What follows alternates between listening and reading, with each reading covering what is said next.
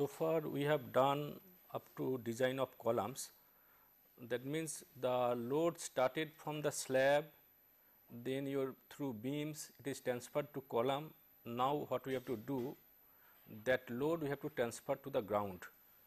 So that is we have to now design the footings or foundation. So column will transfer the load on the footings and we have to give sufficient area so that it will take that it will not cross the limit of the bearing capacity of soil. So, your geotechnical engineers after the soil investigation they will provide us the bearing capacity of soil that is the basic thing we need and according to that we have to design that base of the footing and also we have to provide the reinforcement so that that foundation or footing that one will not have any crack or it will not say fail. Generally it happens that when you are having say column here let us say these are the different columns. We are talking one frame. We can go little further. It happens that we can also provide the tie beam.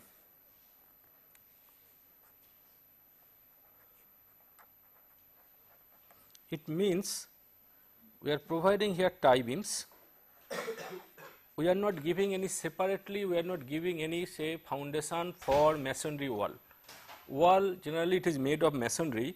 So, for that we are not giving any um, say foundation what we are doing as if the here if we have the masonry wall that load will be transferred to again column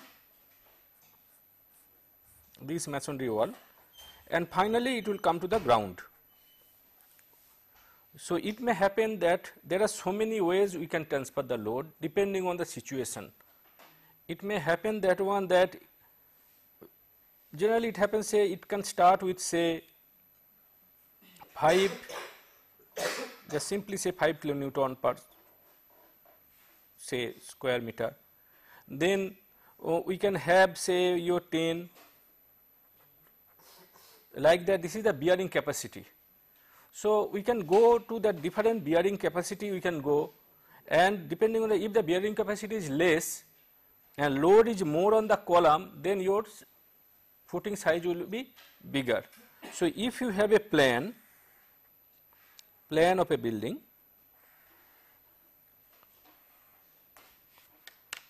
where we are having so many columns.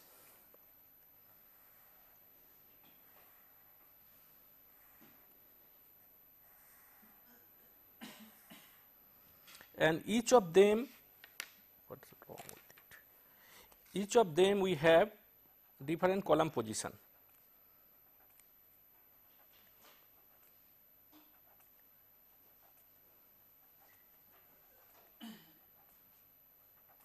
So, these are the column positions. We are looking that once a plan of a building.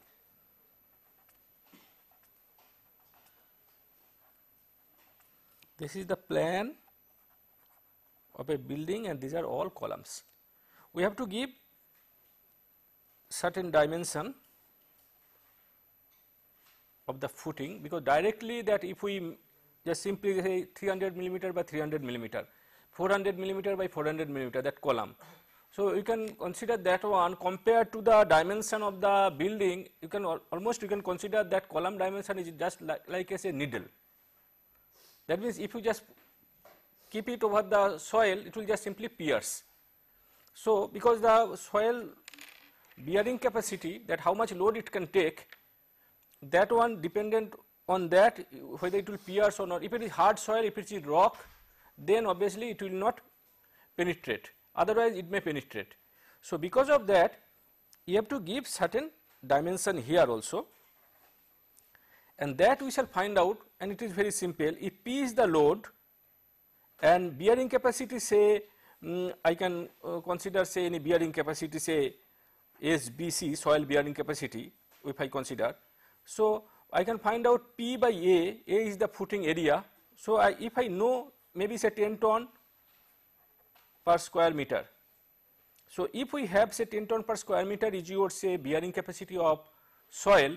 So, depending on that we can find out the safe bearing capacity of soil if we know then I can find out what is the area of the footing that will be equal to P by say safe bearing capacity of soil. So, I can find out the area of the footing that we can find out.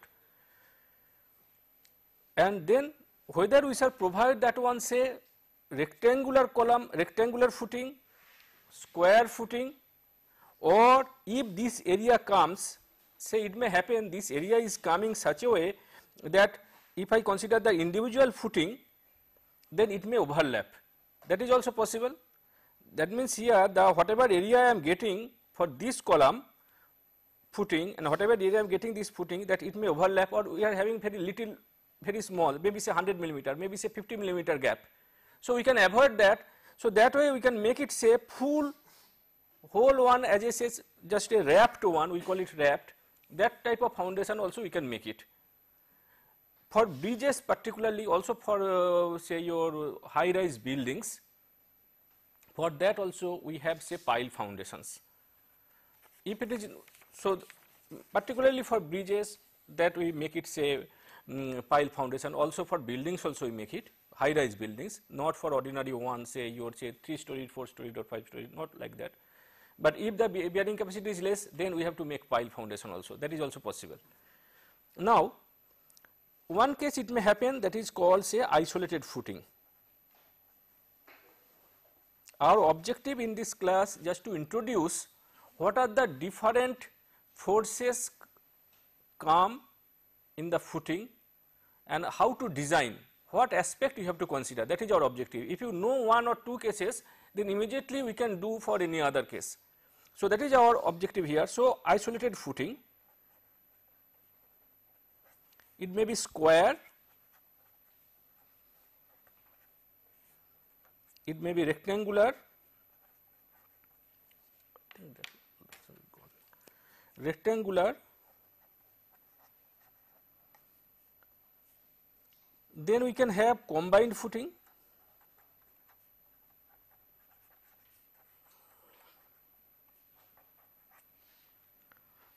Simply we can have only say two the two columns. The columns are so close we cannot give on any isolated footing. In that case I can give one combined footing.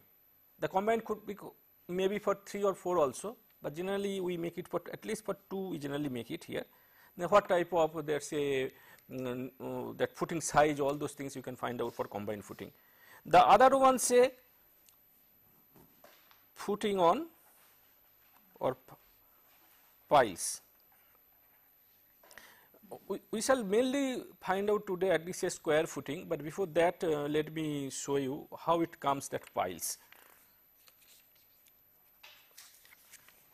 the pile footings it comes generally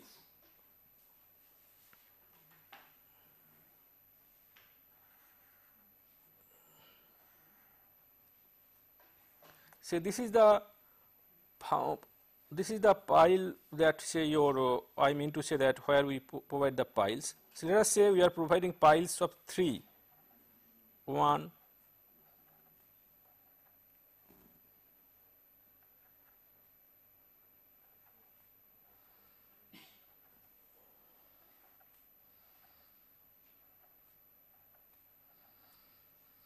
So, there are say 5 into 3 15 piles. Okay? Maybe say 20 meter long 10 meter long those piles. That means it comes in this way. This is the one plan I am talking. So, we will have say 1 2 3 4, 5 and over that these are all called piles each of them maybe say 300 or 350 just give you some dimension. At least you should know what is the dimension. Maybe say 350 millimeter 400 millimeter that diameter. Over that this is called pile cap. Over that we should have, I am talking for say bridges, over that we should have maybe say 3, a big one, just a schematic one I am talking.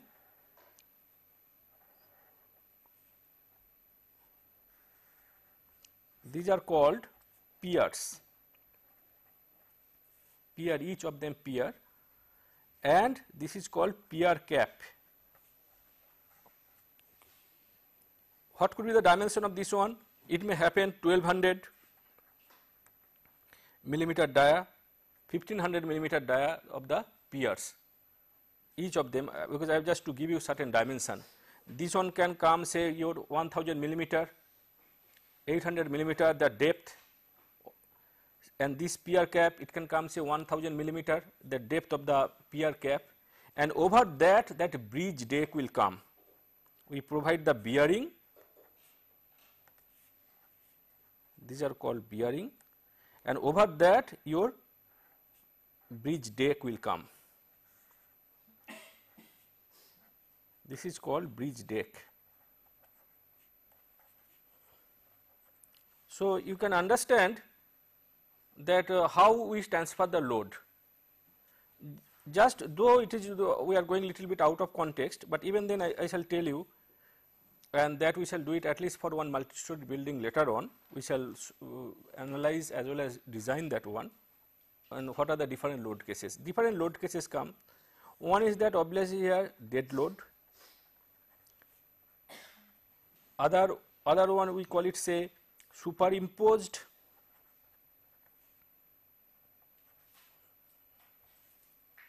dead load, then live load, in terms of say vehicle load. There may different classes of vehicles. Here what happens here that just for your reference I shall tell you one so far you know that IS Indian standard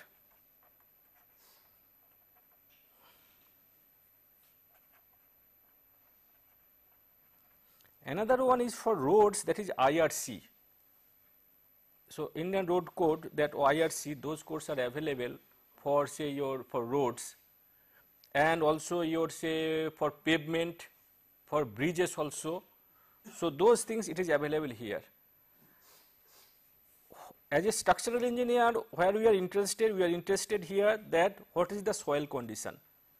Say at least we should know what should be the pile length, length of the pile we should know then we shall provide the dimension, dimension of the piles maybe say 350, 400 millimeter whatever it is coming. So, that whatever load is coming at the top that load should be safely transferred to the ground. That is our objective here. And since we are you can understand this one that we are having different piles. Over that we are having one plate. Over that we are having piers. Generally 3 piers generally provide. Then over that we are having pier cap. Finally that bridge deck is coming that which is called superstructure. So, one part is called superstructure, the other part is called foundation.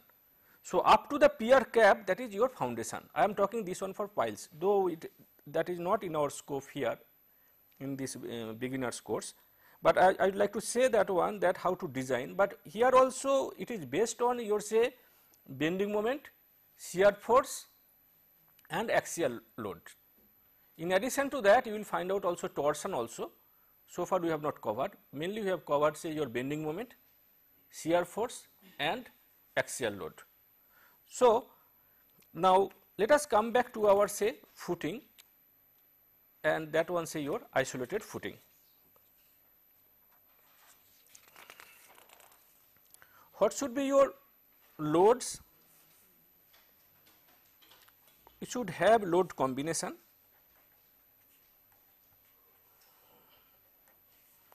number 1 dead load plus imposed load. So, it comes please note for calculating the size of the footing for size of the footing we do not take that 1.5 because we are not taking the limit state rather we are taking that one your say working stress because the bearing capacity of soil is given as say your working stress that one that is serviceable one not the one limit state or ultimate bearing capacity because ultimate bearing capacity divided by the certain factor of safety will give me the safe bearing capacity of soil which is the serviceable one. So, that is why here we do not multiply with that 1.5, we multiply with say 1.0 that is for dead load plus 1.0 say live load that is one case. The other case that dead load plus wind load which comes as 1.0 dead load multiplication factor 1 plus 1.0 wind load. It could be earthquake load also. Number 3 dead load plus imposed load or live load plus wind load or earthquake. So, it could be earthquake load or wind load which one is the uh, governing one that we have to find out we check it. So, here it comes as 1.0 dead load plus 0.8 live load we take it when we consider the live load as well as wind load we take that factor or 0.8 times wind load or earthquake load. What I would like to say here these are the whenever you are doing analysis you have to find out different cases that which one is the governing one you have to get different load cases. Different load cases for this say your building we get these are the three different load cases we generally get. So, dead load, live load that is one case, then it may happen only dead load also another one case also it may happen dead load and imposed load, dead load and wind load, dead load, imposed load and wind load or earthquake load. Either of them we shall take it, we generally do analyze and find out which one is the governing one and we take that load.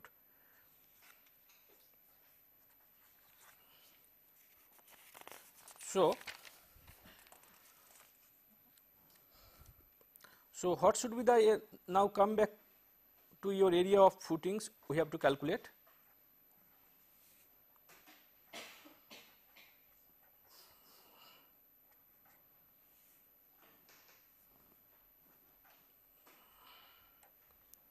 So, service load on column divided by safe bearing capacity of soil below. So, if we know the service load that means after giving the proper multiplication factor 1.0 this case or 0.8 with the live load and wind load when you are talking. So, service load on column divided by say bearing capacity of soil whatever they are on the basis of that you can get that area of footings.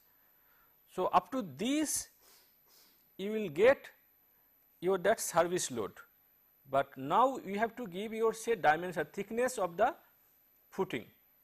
When you have to give the thickness of the footing in that case what you have to do then we shall go to the factored load. So, factored load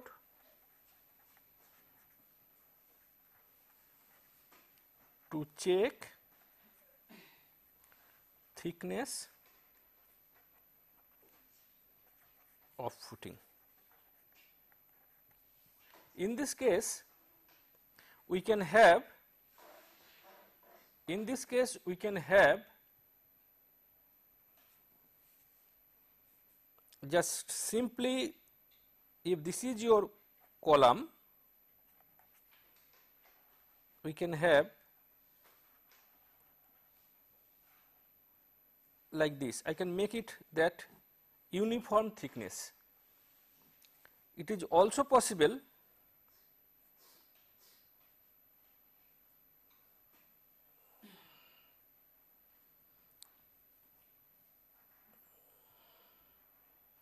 it is also possible to make it sloped, sloping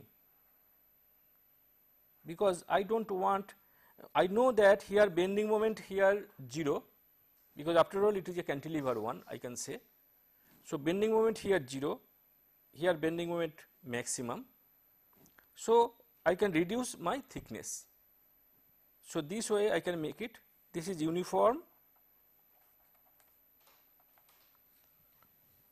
then sloped sloping. And the third one also possible. We can make certain kind of step.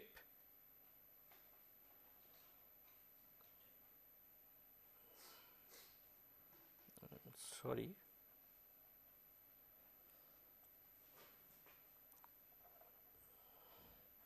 Like this we can provide. That means we can up to certain uh, certain distance we can provide that one certain kind of say pedestal or say step one and then after that we can give uniform or we can give slope also. So, depending on the situation that we can make it, but this is the very simplest one if we can make it because here only thing here we have to find out what load cases say what type of say your stresses will develop. When you are talking say your footing what type of stresses will develop. If you look this one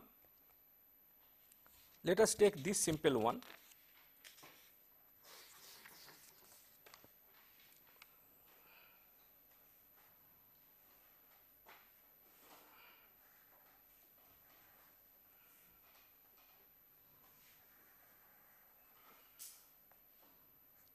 Let us say the load applied P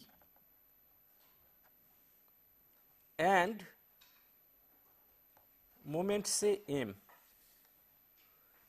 okay and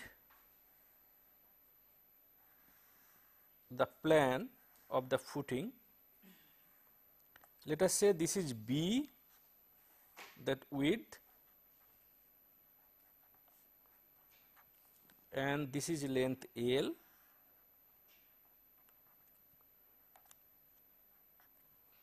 since we are having moment here so, we shall get not it will not be uniformly stressed since we are having moment. So, because of that we shall because if we have axially loaded one then we shall get uniform all along. But here since we are having moment what we shall get we may get something like this.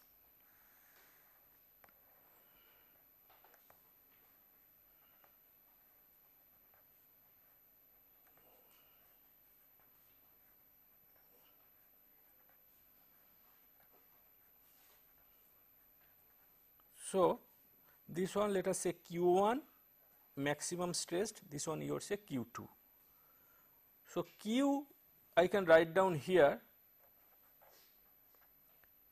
P by B into L and let us say plus minus M by Z. Z is the section modulus I can say so, 6 m by b l square i equal to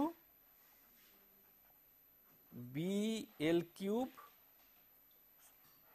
by 12 i of this one with respect to this axis b l cube by 12 so and so m y by i we are talking here B, L by 2 and here another L by 2 because we are res with respect to this. In other way I can say that Z equal to I by L by 2 which comes as B L square by 6. So, I can get Q. So, this side that is Q1 let us write down Q1 or 2. So, Q1 will be P by BL plus minus 6 M by BL plus 6 m by bl square and this side q2 p by bl minus 6 m by bl square.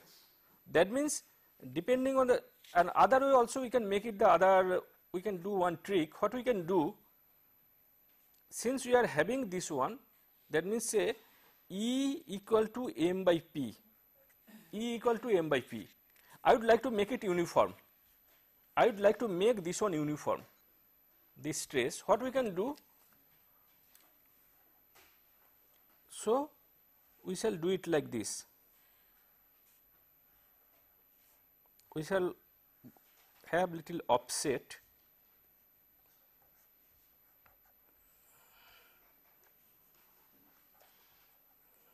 Or in other way I can say instead of having m here I am I am not providing m here. What I am doing as if it is at a distance say your sorry I, I should make it here little bit. I am sorry let me make it uh, clearly let me write down. I am sorry. Okay. So I want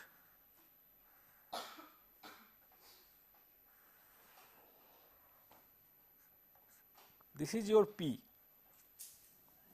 And let us say okay. So, I can have as per my this drawing. So, I can have this is your E. So, E equal to m by P and then what we shall get? We shall get that uniform.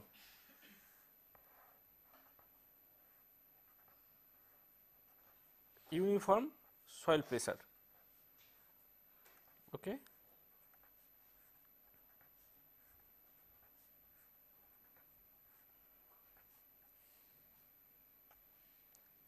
That q.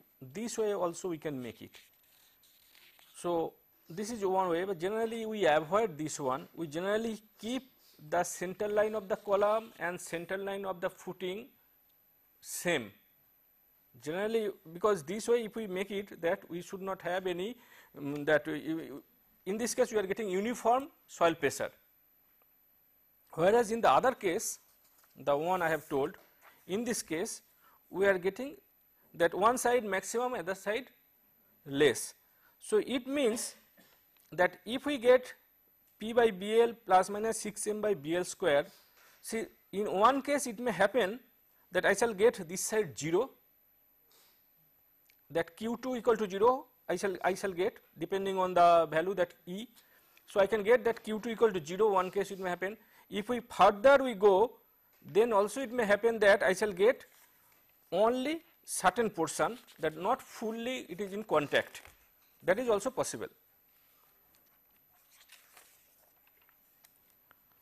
So, if we write down here P by BL minus 6 m by b l square equal to 0. So, what we shall get it here m equal to p times e the other way I can write down m equal to p times e. So, I can write down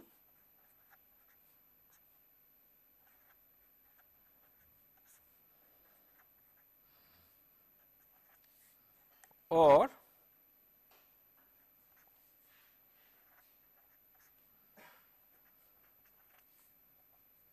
So, E equal to L by 6. So, we are getting E equal to L by 6. That means, if we get E equal to L by 6 in that case what will happen? It will happen that you will get only on one side that means, the, this is the length L of length of the footing. So, in one end we shall get 0. So, now if that P or E exceeds that L by 6 value then what will happen? We shall get we may get certain length say like this.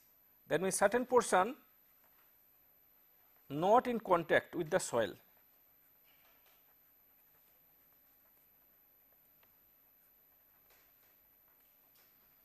This is if E greater than L by 6. This means E equal to L by 6. So, these are the different cases we generally consider that E equal to L by 6 greater than L by 6 all those things. So, generally we avoid okay.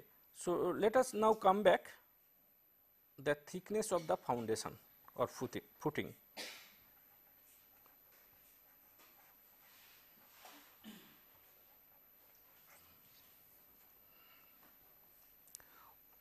What should be the thickness of footing? How shall we, what is the governing criteria? It should be sufficient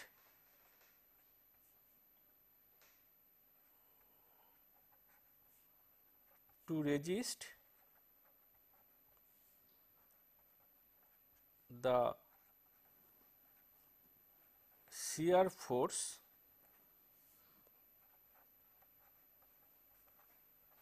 without shear steel.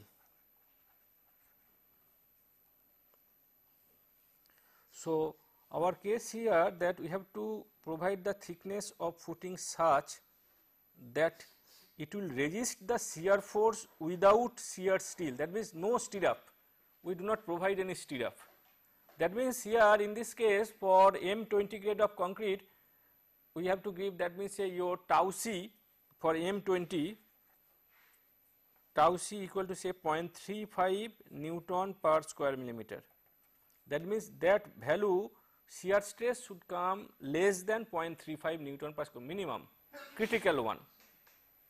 The critical one if I say uh, just uh, for your let us check it that will be in available in um, yes uh, sorry now that is your say 0.28 so 0.28 but depending on the that is your 0.28 is the minimum as per say table 19 of IS 456 but if we if we know the area of steel your area of tensile steel depending on that we can take that is say 0.35 that is why I have told 0.35.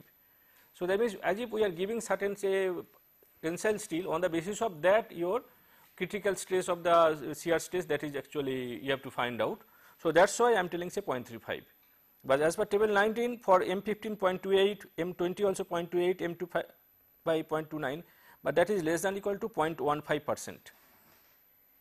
Okay, but if we provide say 0.25 then we are getting 0.35, 0.36 like that. So, we can take say 0.35 Newton per square millimeter. Now, also it should be sufficient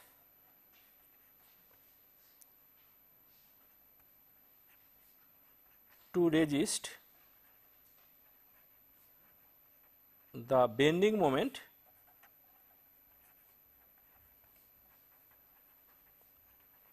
and here also we impose another criteria without compression steel.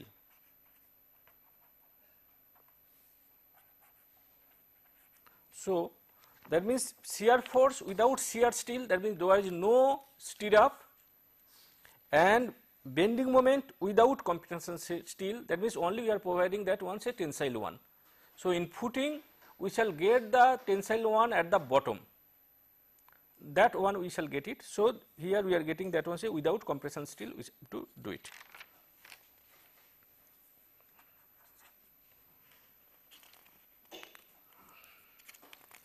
And also we can note another one number 3 that to withstand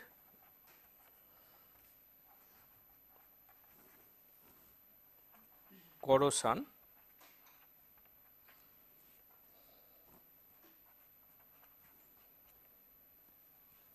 that can be caused from ground. So, at least we should have these three um, cases at least we should have that for that we have to provide the thickness.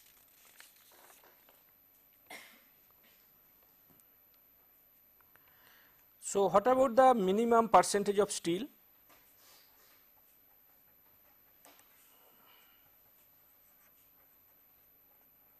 In this case, we shall use that slab that whatever we provide the minimum reinforcements for slab that is 0.15 percent for Fe 250 and 0.12 percent for Fe 415 and this you will get it in just for your reference clause 26.5.2.1 of page 48 IS 456 2000. The same clause for slabs. What about your cover?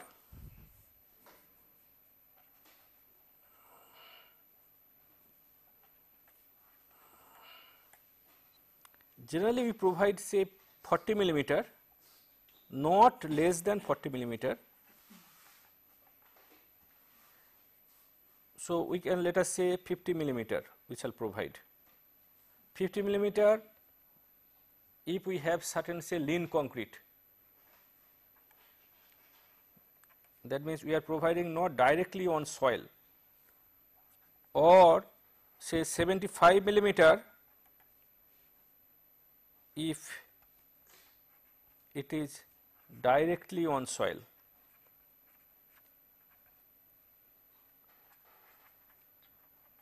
That means the if we provide that one, so if then we have to provide 75 millimeter. Generally, we provide say sand, then we are having lean concrete, and then we provide that your say foundation. So 40 millimeter or 50 millimeter, let us say we shall provide for clear cover when you are providing with on lean concrete. Otherwise, if it is on the directly on the soil on the ground, then we have to take say 75 millimeter. Okay. Now let us come. Uh, I think what we can do instead of uh, uh, coming um, say your let us take one problem. I think that could be easier that we can do it. But before that, let us take that we have shear and bending.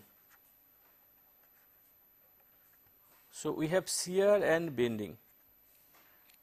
The bending we take it say if this is the plan of the footing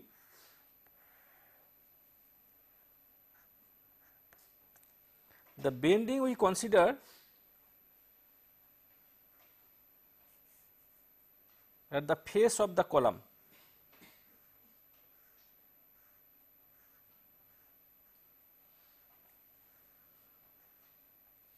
So, bending we shall consider at the face of the column. That means, if this is your length L this is your say B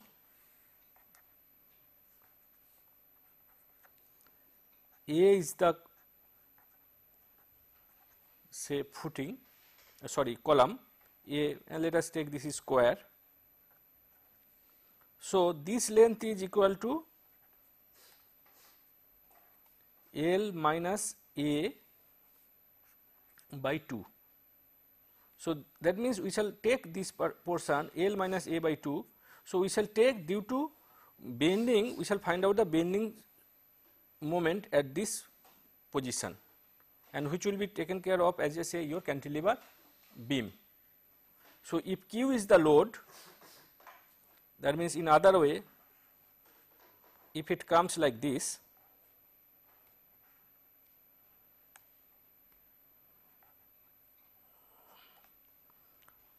So, this is your say Q.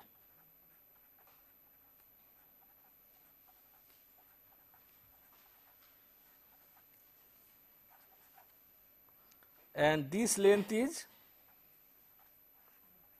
L minus A by 2.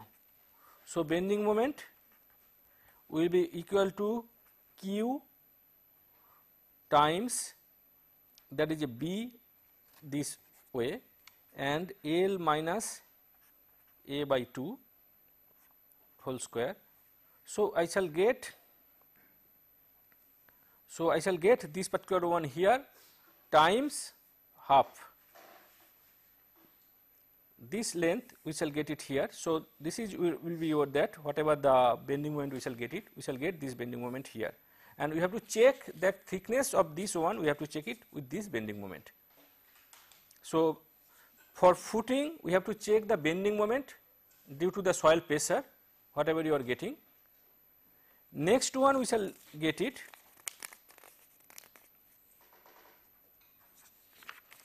that shear. Shear we have two cases. One we call it one way shear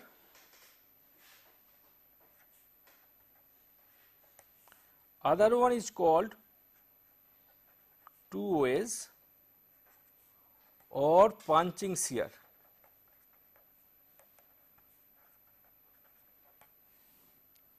What about this one way shear? One way shear it means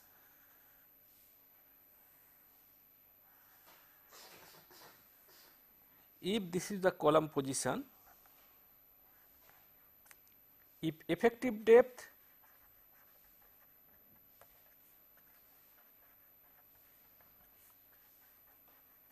of footing D, then we have to take a section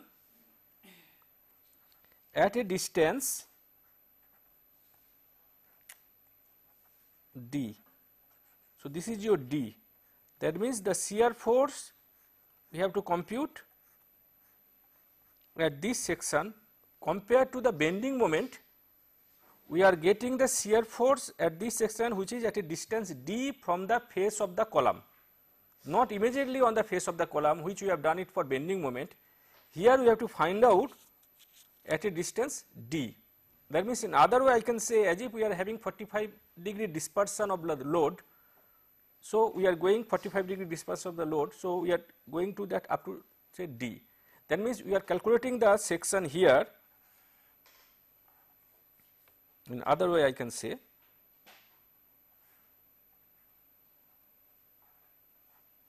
as if we are having we are going here this is your D and this is your D. So, I am going that means I am taking this section this is 45 degree. So, this is your effective depth D. So, we are calculating here at this section and this is called one way either we can compute here or we can compute here, but if it is rectangular obviously we have to take the longer direction not the width because that there the shear force obviously will be less. And what about the punching shear or two ways or both ways?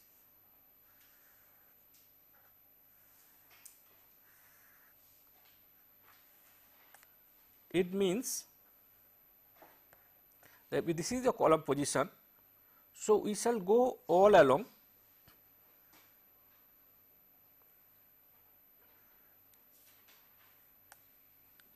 in all sides and this one will give you at a distance d by 2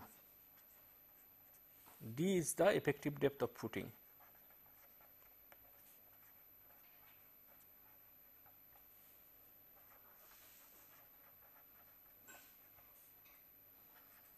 What does it mean?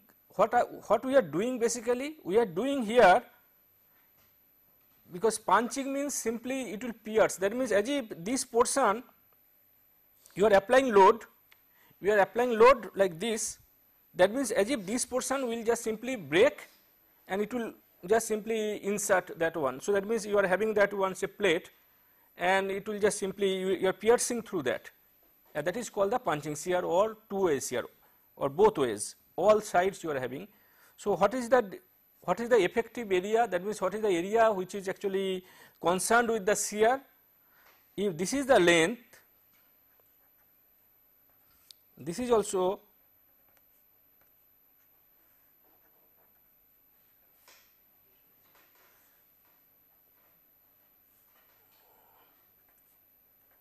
so a column dimension say square So, we shall get 4 times A plus d by 2 plus d by 2 the total perimeter. Perimeter equal to 4 times A plus d by 2 plus d by 2 because this is the A and d by 2 this side d by 2 this side and 4 times if it is say square. So, we shall get the perimeter of this one that is 4 times this one which comes as 4 times A plus d. What about the shear force? The shear force will be equal to total shear force 4 times A plus D times the depth D. Please note we are talking the perimeter, this is the perimeter. What about the area? Area means along the I can say like this area means this one because this is the one say if this is your say at d by 2 we are putting the I can say this is the column this is the column say your the calculator that we are putting here this is the column and we are going say at a distance d by 2 in all sides. So, we shall get the perimeter that we can compute. So, this dimension if it is rectangular, so it is A and it is small b say. So, A plus D d by 2 d by 2 and this side maybe b plus d by 2 d by 2 we can go. So, we can get the perimeter and we, are, we have to find out which will register shear. Shear will be registered by this area. Shear will be registered because the, if this is the depth of the footing, shear will be registered by this area. So, this area what will be this area? This will be the depth. So, perimeter times the depth that we shall get it. So, that is what I have written here 4 times a plus d we are talking say square footing. So, 4 times that square column. So, 4 times a plus d times d times the allowable punching shear. So, that is let us say tau p, tau p is the allowable punching shear. So, this one will be given that one say shear force and that should be equal to or greater than the whatever the your say column load. So, that should be equal to that means not only column load including this also you have to add the self weight of the footing. So, self weight of the footing plus the load whatever is coming from the column and from there whatever you are getting that say total load design load that one from there you will get the shear force that is the shear force that should be equal to or less than this value then you can say it is safe. So, if I now uh, since I have come to this one so let us come this one here if this is your B or L let us say this is your B then in that case what will happen here I can find out the shear force here also shear force here what will be the shear force here again here B times the D and due to this load because that we have to resist this portion whatever shear force will come due to this load this side left side at this section that we have to resist. Here again we are talking that one say vertical section the one section at the wall or whatever we consider that section you have to resist. So, depth times this length that we have to resist. So, these are the different cases we get it here yes.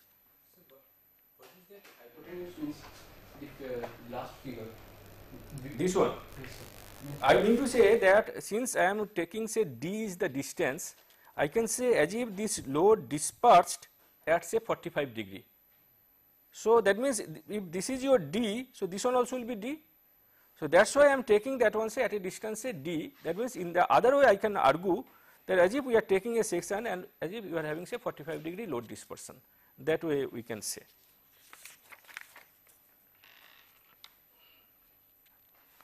So, so that means we, we have to design the your say thickness of the footing. We are having three cases. One case is the bending, another case shear, shear having two. One is called say one way shear, another one is called say punching shear or two way shear. On the basis of that only we can provide the thickness. What we generally do, we generally find the shear in the that uh, your footing that is more so, we can start from, we can calculate depth the generally the usual procedure in design you calculate depth from any one of the three either shear from punching, shear from one way or bending you can calculate the depth and you check for others whether it is satisfied. So, that is the usual procedure here what we can do we can check for the one way shear sorry we can find out the depth from the one way shear and then we can calculate for others. So, let us check here I think we can start solving one problem. Mm, but before that uh, I, I, think we shall get time. So, we shall we shall take maybe say let us keep it for the next class. So, let us at least tell say minimum depth.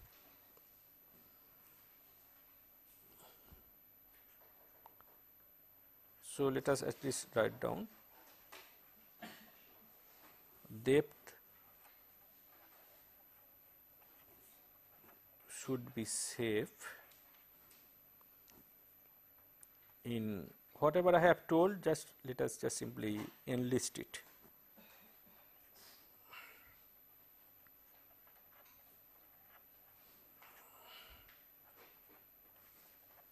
the depth should be safe in one way and two way shear. I have already told, but let us just write down without shear reinforcement.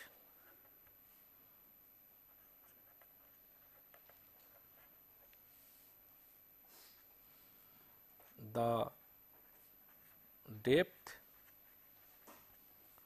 should be safe for the bending moment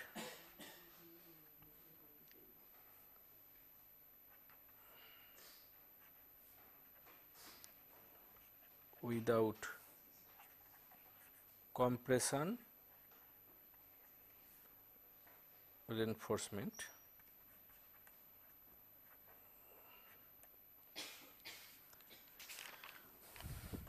So, we can uh, take this one and uh, uh, I have already told that 0.15 percent for Fe 250, 0.12 percent for Fe 415 as well as 500. So, this, this depth you have to provide and also we can say 150 millimeter at the edge of the 150 millimeter at the edge of the footing. This should be the minimum depth I can write down here 150 millimeter the edge of the footing. So, and but 300 millimeter if it is on pile foundation 300 millimeter that is the minimum this this one I am talking minimum. So, minimum 150 millimeter at the edge of the footing if it is a minimum 300 millimeter if it is on the pile. So, I think I, th I can stop here today. So, next class we shall solve problem at least one square footing and uh, because our main objective here that we would like to finish it that what all the different components this footing because we have done slab, we have done beam, we have done say columns and we have done say your now we are doing footing and one more we have that is your say um, staircase. So, that for at least for a building we shall have all the components then only we shall start with say at least one multi-story frame multi-story building we shall design for all the components starting from the analysis and the design. Okay? Thank you.